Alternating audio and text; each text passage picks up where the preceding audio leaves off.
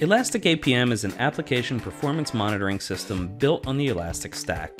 Elastic APM makes it easy to pinpoint and fix performance problems quickly.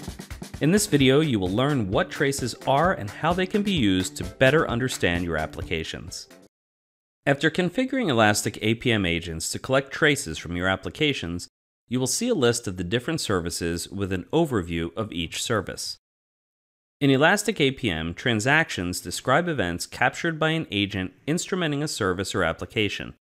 A transaction is the highest level of work measured in a service. It could be a request to a server, a batch job, or even a background job. Here we can see that frontend-node has around 313 transactions per minute with an average response time of 77 milliseconds and an error rate of 0.5%. If we go ahead and click on the frontend-node service, we will see an overview of the service. The average latency varies between 60 and 100 milliseconds with some spikes up to 200 milliseconds. We can also look into the 95th or 99th percentiles. The overview page also shows you the throughput and error rate. It automatically compares the current period with the previous one, for example, the last 24 hours with the previous 24 hours.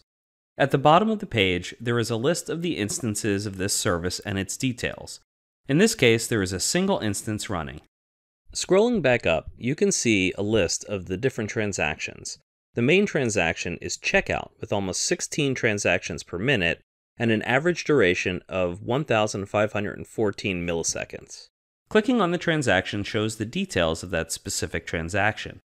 You can see the duration distribution and click on Slow Transactions to investigate bottlenecks.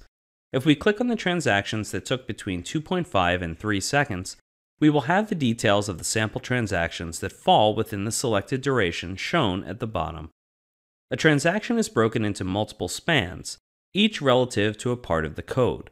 And in this view, you can track not only the transaction time, but also the time spent on each span. Here we can see that hipstershop.cartservice front slash empty cart takes more than 2 seconds out of 2.8 seconds for the entire transaction. If we click on it, we can see the stack trace for that specific execution along with the metadata. If you expand a span, you can see the details of other services as well, such as the cart service, but distributed tracing is a topic for another video. Besides finding bottlenecks, we often want to understand and avoid errors. This can be done by checking the errors for a specific transaction. If we go back to the transactions that took between 0 and 500 milliseconds, and we click through the trace samples, we can see that there were two errors. Click on Error to view the related errors in the Errors page. By clicking on the error message, we can see the exception stack trace and the metadata.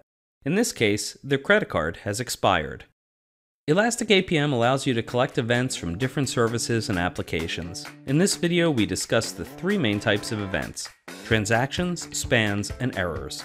We also navigated through the UI analyzing APM data of one of the instrumented services.